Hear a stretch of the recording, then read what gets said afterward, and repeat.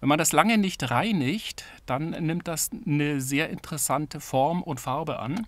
Ja, ziemlich widerlich, was da dran klebt. Ganz großes Kino. So, das war jetzt der Schreckmoment des heutigen Tages. Es ist, es ist gemacht, es funktioniert.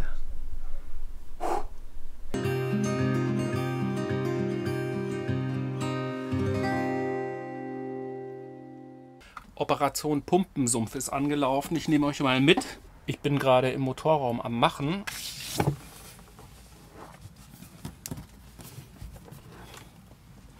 Und darum geht's. Das ist der Pumpensumpf. Dort wird das gesamte Grauwasser, was im Boot anfällt, also Spülen, Bad und so weiter, das kommt hier alles rein. Also kein Schwarzwasser, aber Grauwasser. Äh, das verstehe ich nicht. Zeig doch mal bitte.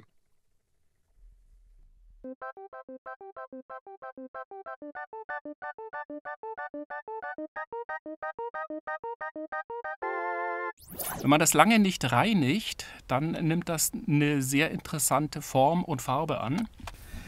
Das hier ist ein eineinhalb Meter tiefer Schacht und man sieht das vielleicht ganz gut.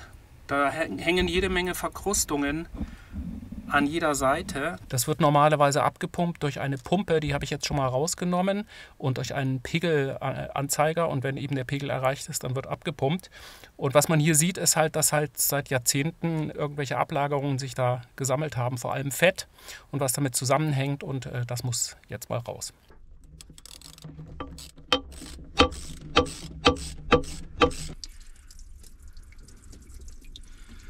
Also hier haben wir jetzt mal den Teil, der ansaugt, den Fuß, der ansaugt. Und da sieht man mal die Verkrustung, wie stark die ist.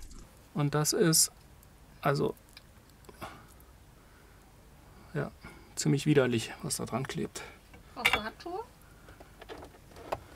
Kannst du es raustun auf den Steg? So, wo soll das jetzt hin? Auf den Steg bitte. Auf dem Steg. Ja.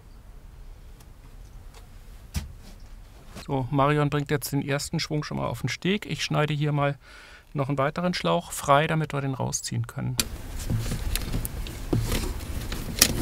Kannst du mir den Nasssauger zwingen? Und bitte blaue Handschuhe.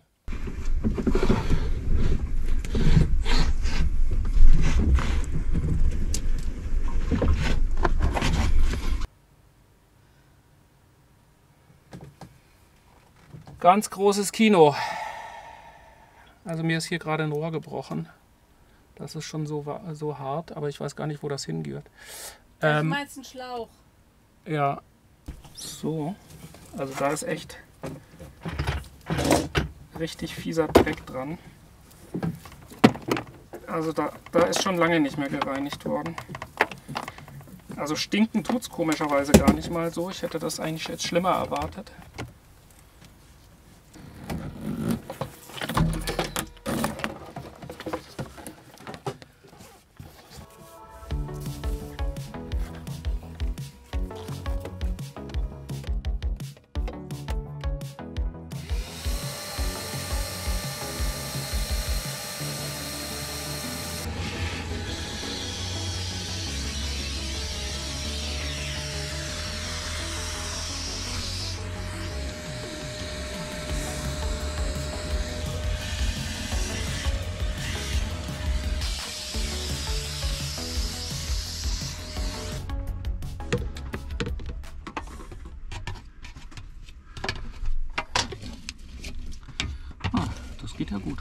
Schiert richtig was ab.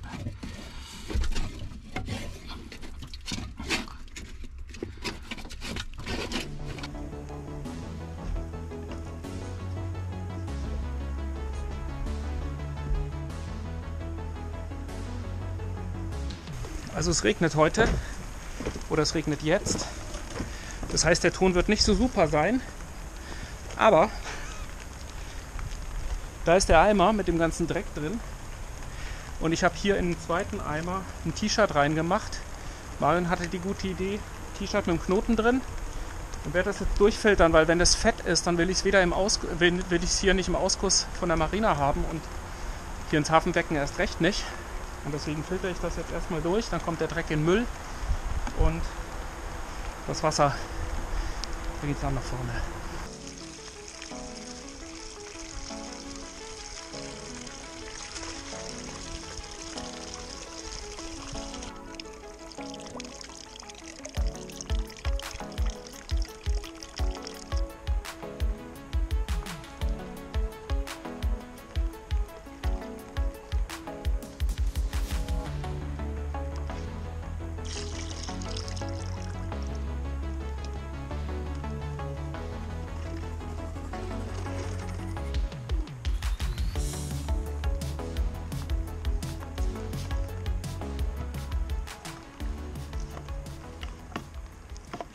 Also das ist das Werkzeug, was ich gebaut hatte, geht mir bis dahin.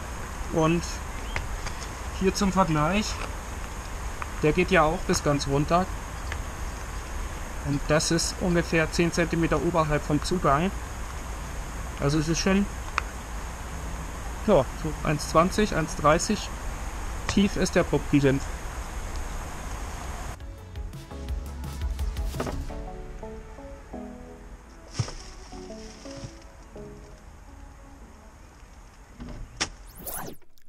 Und wie kommt das Wasser jetzt da raus?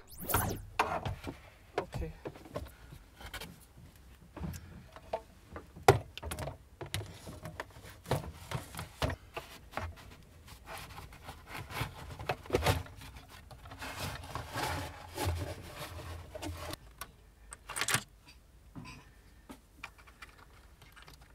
So, jetzt wo es wieder zusammengebaut ist, nochmal in Gänze. Hier hinten ist ähm, das Rohr mit dem Schwimmer drin und wenn der Schwimmer ganz oben aufgeschwommen ist, dann bedient er den, den Schalter. Ähm, rechts davon ist die Lenzpumpe, die Automatik-Lenzpumpe, die springt dann an und lenzt das wieder. Und was hier vorne quer liegt, das ist das ähm, abgeknickte Rohr von der Handlenzpumpe. Das äh, kaufe ich dann morgen neu. Und dieser Pumpensumpf hier unten, dort sammelt sich das gesamte Grauwasser aus dem ganzen Boot. Ähm, ich finde das eigentlich ein sehr cooles Feature, dass das alles komplett an einer Stelle gesammelt wird und dann aktiv nach draußen gepumpt wird, weil das bedeutet, dass du ähm, nicht fünf ähm, Seeventile hast, praktisch für jedes Waschbecken, sondern eben einen zentralen und äh, hat den Riesenvorteil, dass das eben äh, weniger Seeventile bedeutet, hat aber natürlich den Nachteil, du musst dich um die Pumpen kümmern und dafür sorgen, dass die Pumpen auch immer funktionieren, weil sonst hast du ein Problem, wenn die nämlich ausfallen. Und das bedeutet auch, dass die Hauptlenzpumpe hier in diesem Schacht ist und das ist aber gleichzeitig auch der allertiefste Punkt im Boot. Das heißt, alles, was an Wasser anfällt, landet automatisch hier im Pumpensumpf und wird von hier aus dann aktiv weggepumpt. Das heißt, wenn eine Havarie wäre, würde alles normalerweise hier hereinlaufen, es sei denn, du hast irgendwo abgesperrt, weil du zum Beispiel ein ganzes Schott zugemacht hast und auch da abgeschiebert hast. Also cooles Feature. Lass mal bitte Salzwasser laufen. Bis ich Stopp sage, eine ganze Weile. Kannst was anderes machen.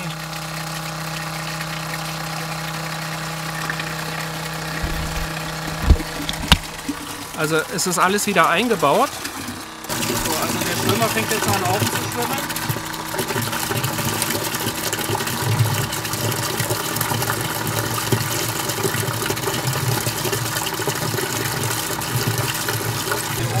Schalter. Der wird gleich von der Leine nach oben gezogen. Stopp. So, jetzt ist er umgesprungen. Jetzt kommt die Pumpe auch.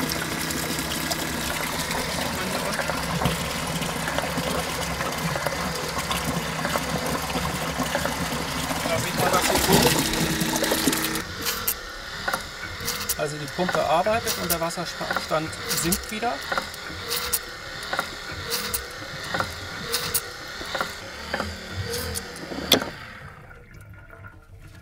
Ja, das macht mich ganz zufrieden. Das heißt, ich bin fast fertig. Ich muss die eine Schelle noch anziehen, die leckt äh, Wasser. Und dann kann ich hier aufräumen.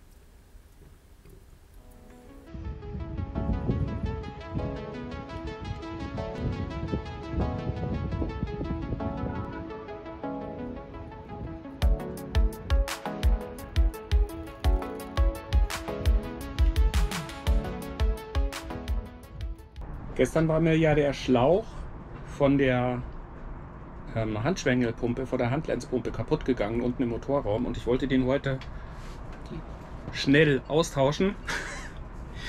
Und ähm, ja, der Schlauch, der hier senkrecht runterkommt, hier hinten, der dunkle, der ist das. Der kommt von oben und verschwinden unten im Motorraum. Das heißt, das sind auch zweimal einsilikoniert oder einmal, zweimal eingedichtet. Und wenn ich jetzt nach oben gehe und die Kiste einmal schließe, ist hier ein Schatt, wo hier einmal die Pumpe sitzt. Das ist ja interessant. Also das ist schon richtig, aber das ist die Entwässerung, die geht nach unten und die geht aber woanders hin. Und von unten scheine ich da nicht ranzukommen. Da war ich nämlich gerade schon.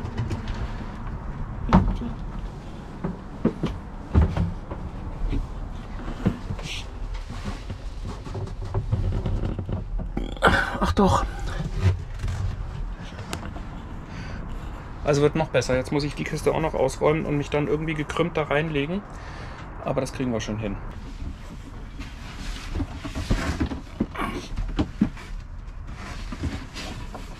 Aua. Ah, da kommt sie raus. Also hier kommt der Schlauch raus. Da.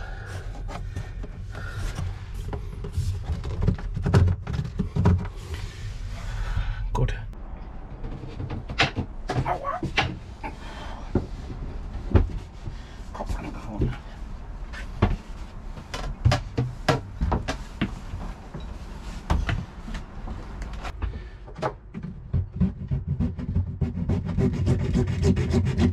Das ist hier ja übrigens echt ganz praktisch, weil man da auch in Ecken reinkommt, die man sonst nicht gut reinkommt. Gerade für Schläuche und sowas. Ist eigentlich nur ein Griff und da kommt ein Metallsägeblatt rein. Ist ein Pfennigartikel. Ich verlinke euch den unten. Ist aber sehr hilfreich, gerade für solche Sachen. Ich war mittlerweile in der Wachskiste, habe da den Schlauch zurückgezogen und bin jetzt im Motorraum und habe auch da den Schlauch zurückgezogen. Aber leider war die GoPro nicht an und deswegen, also ich meinte sie angemacht zu haben, aber sie hat nicht aufgenommen. Ich habe jetzt jedenfalls den Schlauch hier hinten rausgezogen. Der kam von hier oben runter, da hinten ist das Loch.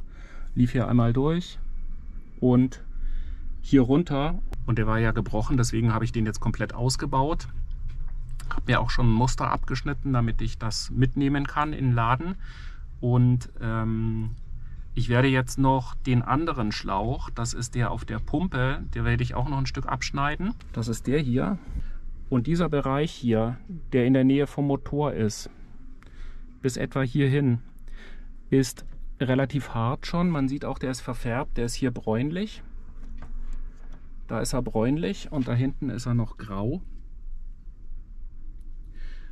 Und deswegen werde ich da jetzt ein Stück abschneiden an dem Teil, damit ich davon das Maß habe für den Laden. Das ist immer ganz hilfreich, damit man es eins zu eins daneben halten kann.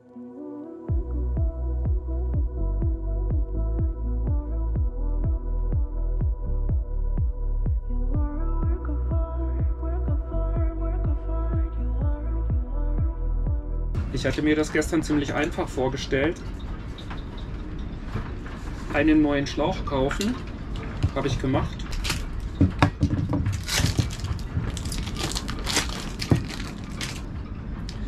An dem Stutzen von der Lenzpumpe 34 mm. Ich habe aber nur einen 30 mm Schlauch bekommen. Wenn ich mir das jetzt mal so angucke, dann muss ich da auf jeden Fall noch ein kleines bisschen was aufweiten. Das ist der alte Schlauch und der neue.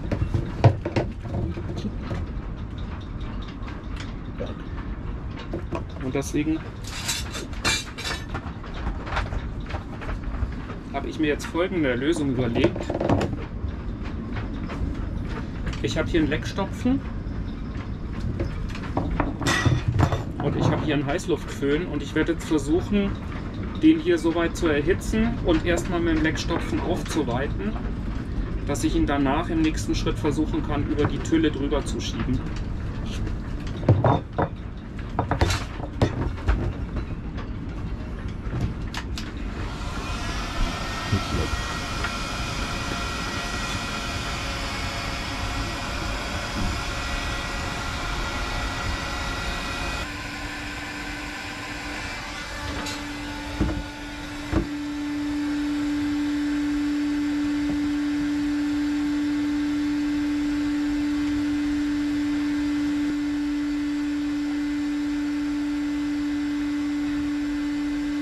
Also ich habe es jetzt mit mehreren Versuchen, mit mehreren Aufweitungen schon bis auf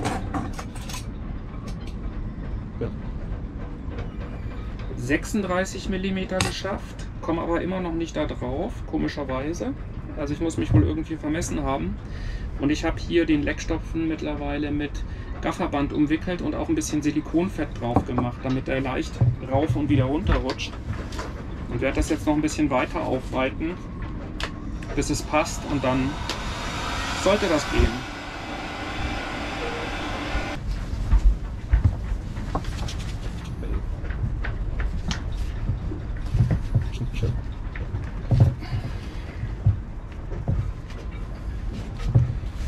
Ja, das ging ja jetzt gut.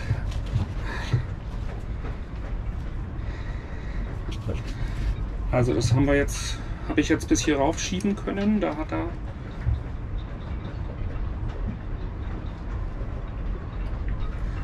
...39 mm. Und damit müsste er hinten eigentlich auf den Stutzen drauf passen. Den messe ich mit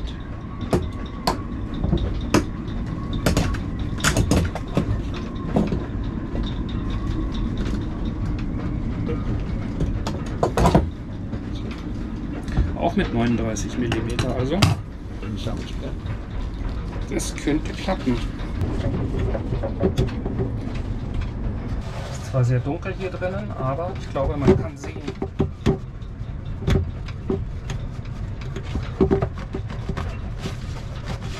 dass er jetzt drauf passt. Also der Versuch hat funktioniert. Damit kann ich jetzt den Schlauch nochmal in der richtigen Länge nachholen und dann haben wir hier auch wieder eine funktionierende Lenzpumpe.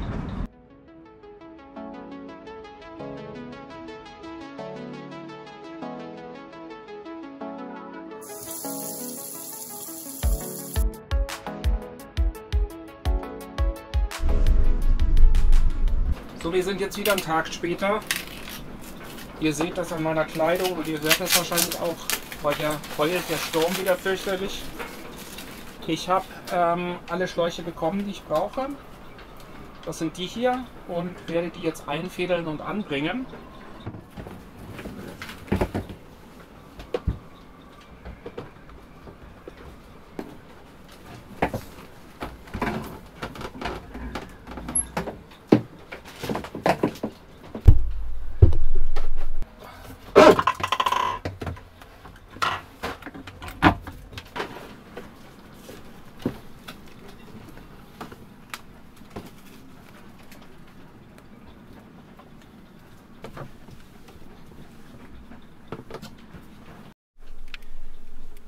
Also hier hinten ist der Schlauch, den ich runterziehen muss. Und außerdem muss der Schlauch hier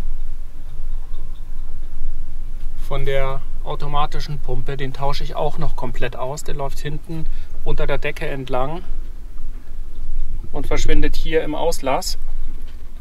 Der geht nach außen direkt.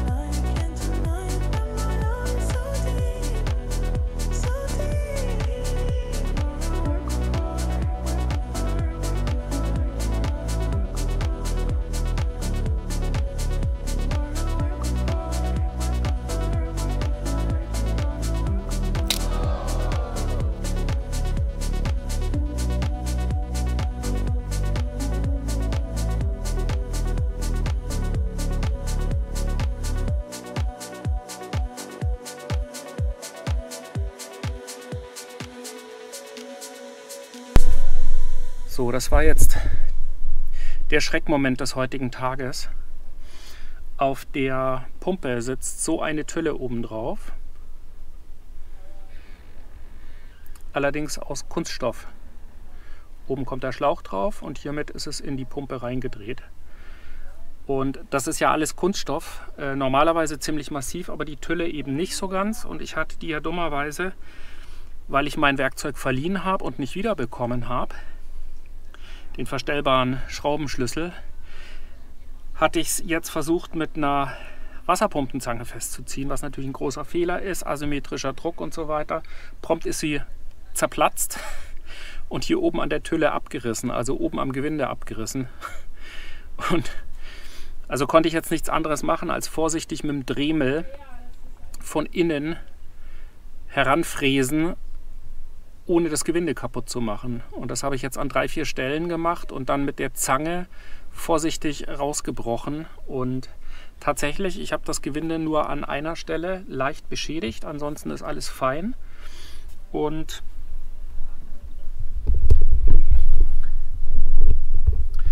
das hier ist der Punkt. Das hier ist die Tülle und das hier, das Weiße hier ist die Dichtung. Diese Tülle hier ist deutlich länger, die geht bis hier oben. Deswegen hatte ich hier jetzt auch gut Platz, zwei Schellen anzusetzen. Und ich hatte halt echt Angst, weil diese Pumpe hier, ähm, die kenne ich gar nicht. Das ist eine, steht RAM drauf, ich kenne die Marke gar nicht. Äh, Serie Marina, RAM Serie Marina, kenne ich nicht. Ähm, hätte ich jetzt auch gar nicht gewusst, wo ich die herkriegen sollte. Und es ist kurz vor Ostern. Und weil eben kurz vor Ostern ist, hatte ich echt Sorge, dass wir jetzt über Ostern nicht spülen können, nicht Zähne putzen können, nicht Gesicht waschen können, gar nichts mehr können, wo wir Wasser brauchen, beziehungsweise Abwasser anfällt. Aber toi toi toi, es hat geklappt. Ich habe es rausfriesen können. Ich habe eine neue Tülle ansetzen können. Ähm, ich hatte noch eine aus Kunststoff in meinem Fundus. Das ist echt unglaublich. Eine 30er Tülle. Also es gibt ja verschiedene Gewinde und es gibt verschiedene Tüllen. Und die Kombination muss ja passen. Und ich hatte tatsächlich das Gewinde mit einer 30er Tülle, genauso wie ich es gebraucht habe, aus Kunststoff in meinem Fundus. Es ist, es ist echt unglaublich. Ich bin ja ein verfluchter Jäger und Sammler und ich fluche ja manchmal selber drüber, dass ich alles sammle und nichts wegschmeißen kann. Aber in solchen Momenten bin ich immer heilfroh, wenn ich solche Sachen aufgehoben habe, auseinandergedreht habe. Also hier diese Tüllen, die sind jetzt auch aus meinem Fundus. Ähm und das, ja, das ist unglaublich. Unglaublich. Also ich hätte es nicht tun sollen. Ich hätte es nicht tun sollen. Also Freunde, damit nie, damit nie versuchen, eine Kunststofftülle festzudrehen. Ja, und das Ärgerliche ist ja, ich habe ja hier so einen tollen verstellbaren von Knipex, aber ich arbeite damit nicht so gerne, weil man ähm, oftmals den nicht vernünftig zudrücken kann. Aber hier ging er jetzt. Also ich habe beim zweiten Mal habe ich ihn jetzt verwendet. Beziehungsweise nein, ich habe von Hand zugedreht. Ich habe nur von Hand zugedreht. Egal, so, es ist, es ist gemacht, es funktioniert.